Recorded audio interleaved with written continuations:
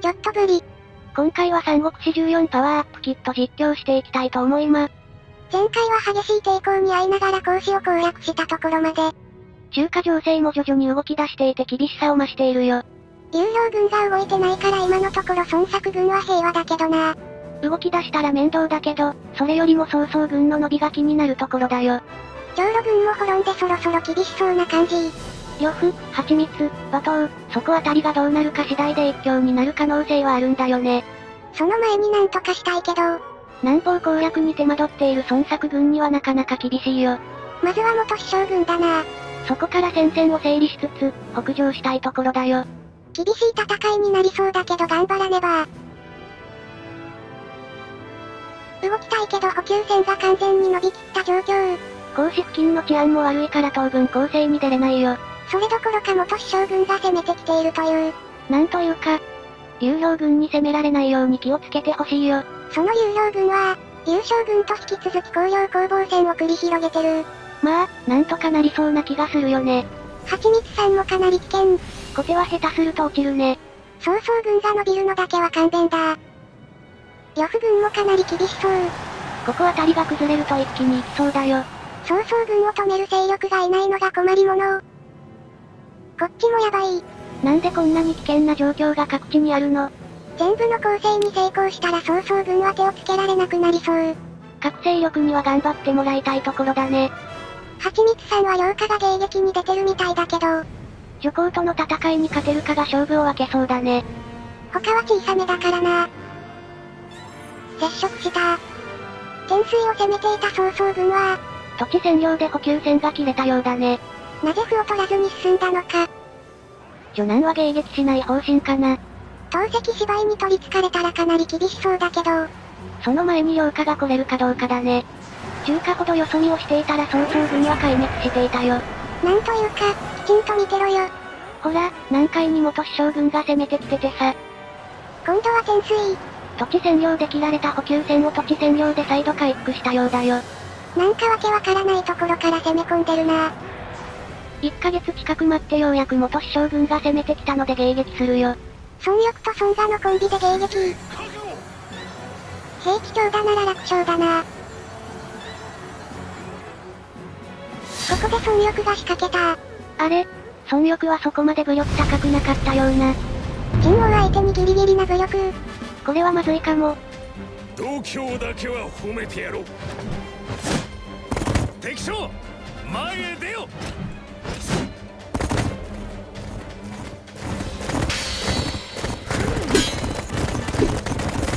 なんとかなりそう。危なげなく勝利。勝ってよかったよ。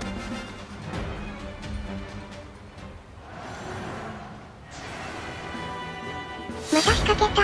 え、前の一騎打ちから10日も経ってないんだけど。さらに怪我して武力差が広がってるし。これは陳王さんに同情しちゃうね。敵将前へ出よ今度は一撃。孫力さんが暴れてるねこんなものよ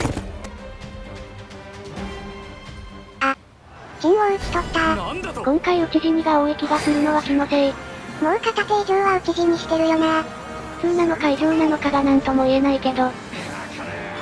逃げるシビを追いかけてまた孫力が仕掛けてく荒ぶりすぎだね。まあ、問題ないはず。力の差を見せてやる格の違いを教えてやろう普通に打ち合っていい感じにぶつかり合って今回も危なげなく勝利孫力はそこそこやるのかな？武力はあんまりだけどな。逃げるシビをまだまだ追撃中燃やされながらもまた孫力が仕掛けていく。なんというか同じ相手に2度も一騎打ちを仕掛けまくるのは。まあやられたことはあるから気にしたら負けかな。それもそうだね。いいぞ。相手をしてやろう今回も打ち合ってでも前回の負けのせいで体力が半分以下。そのまま勝利。はいないのか損力無双かな。え、また、今度は守備を打ち取り、数少ない元師将軍の武将を二人も打ち取るなんて、かなりの大戦果だな。ここで元師将軍が無謀にも格子攻めを開始。霊領から全力出陣。有料軍と同盟結んだわけじゃないよな。当然大歓迎してあげるんだけど、まあ、勝負にならないよな。背負っているものの重みが違うわでもさ、これだけ公私攻略に兵を出したってことは、どうでもいいの撃破。まあ、想像はできるよな。当然ながら武領から有料軍が攻めてくる。霊領の兵は6000程度、まず負けるよね。今から戻ればまだ間に合うけど、戻る気配はないよ。有料軍が霊領を射程内に収めたところでようやく元師将軍が引き上げていく。もう遅いよね。慶州南部を有料軍に取られたらかなり厳しいな。元師将軍が急いで戻ってるけど、当然間に合わず霊領は落城したよ。ほんと何やってんだか。帰り道で頑張れば落とせそうな気配を見せつつ、邪魔かが迎撃に出てきたから無理だね。ワンチャンありそうな気もするけどな。霊領を攻略した有料軍だけど、ここで何を思ったか懸案に攻めてきたよ。ほんと何考えてんだレベルだな。かなりの長距離行軍になるだろうから備えはできるけどさ。少し心もとない。兼用から孫作を派遣しようか。有料軍が結構叩かれてるかな。真野と光陵を攻められているね。え、武将数二人、なんでか真野に武将を置かないんだよ。何考えてんの？有料軍は60人ほど武将がいるはずなんだけど、最層には12人。露光には11人。高架に3人。進路に2人。常用に19人。効果はわかるけど真野はおかしいよ。高陵に2人。武領には10人。調査は5人。なんだこの武将配置。ほんと意味がわからないし、元師将軍は南海に全力で攻めてきているし、ここあたりで意味不明な状況になっているよ。孫悟がおかしくなると中華南部もおかしくなるとか。そんなことはないと思うけど、で、元師将軍が止まらないんだけど、慶応を有料軍に取られるとかなり厳しいんだけど、北上の目がなくなるもんな。盛大に火罠を用意して歓迎しようと思っていたら、少し早い入場になってしまった。もう燃え始めたね。ここで兵糧切れ。何事かと思ったら、有料軍の契約で歩を取られたようだよ。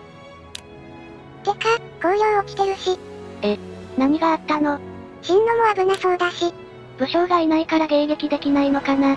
これはどうしようもなくなってきてる気がするな。有料軍に何が起きているのかが気になるよ。少しやられてほしいというのはあったけどやられすぎだよな。ここまでは少しね。待っていても壊滅すると思うけど一応出陣。歩を取り返すのに邪魔だからね。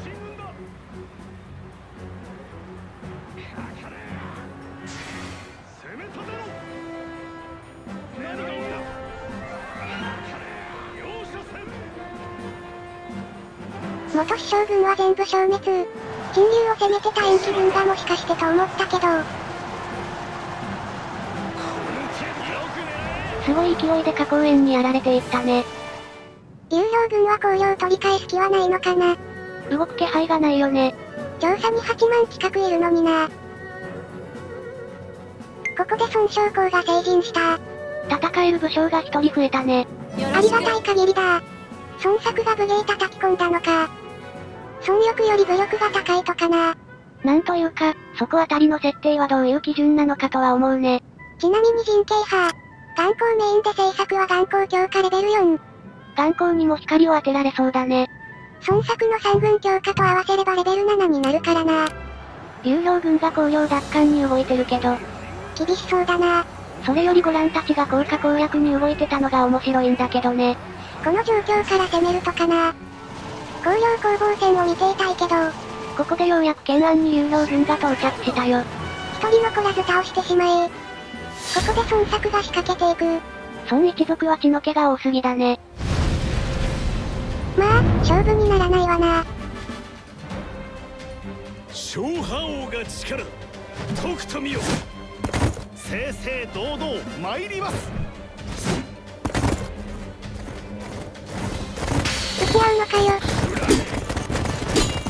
瞬殺と思わせて時間かかったな。ダメージの基準が相変わらずわからないね。一応確定。撃破する。ここからが迎撃戦本番かな。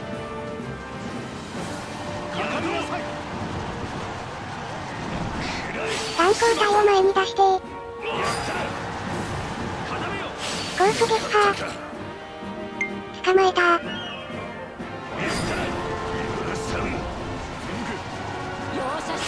補強撃破。さらに捕まえる。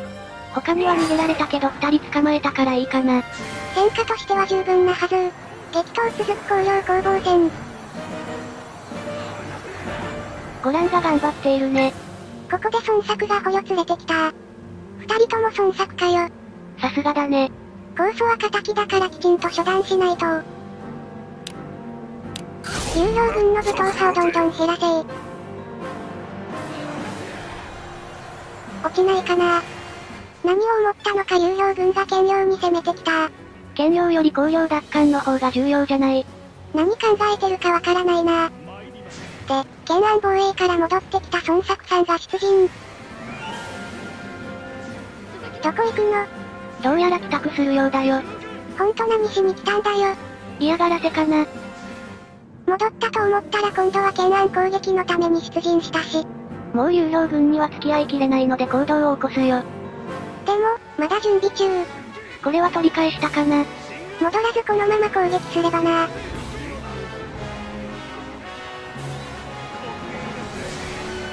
ようやく準備が整ったから行動開始。元首将軍を滅ぼすべく軽量に攻め込むよ。各地の防衛は他の孫一族に任せてみた。これは奪還したな。このレベルの構成を最初からやればよかったのに。奪還したか。これで慶州は落ち着くかな。そんなわけもなく。武将が4人しかいない進路に曹操軍が、迎撃できる武将さえいればなんとかなるはずなのに。その武将がいないからな。曹操軍から寝返った関連が進路の救援に、兵数は多いけど一人だけ。関連ならなんとかしてくれるはず。だといいんだけど。ギリギリな感じだけど間に合うかな。関連の頑張り次第だな。容赦せん総人撃破。このまま徐行を瞬殺できれば守れそうだけど。ここであまり盛り上がらない懸案防衛。こちらには孫力を送り込んで防衛を任せたよ。眼光隊もいるし支援させればなんとかなるはず。進軍せよなんだと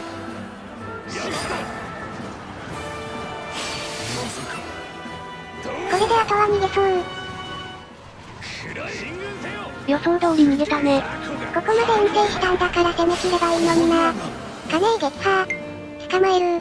というか、カネイが前線に出てくること自体がやばいよね。紅葉にまた優勝軍が攻めてきてるけど、そんなことより進路が落ちてるじゃない。関連一人じゃどうしようもなかったか。これは、超高北岸は曹操軍が抑えるかもね。まずい展開だよな。ここで孫力が捕虜連れてきた。これで戦場に出されたのはかわいそうになるレベル。流量軍も人材が枯渇しているのかもね。覚悟はできています兵糧切れ間近でようやく軽量攻撃開始。1ヶ月分しかないから急いでほしいよ。一気火星の動きこそ虎の本領よ早速孫権が強化していく。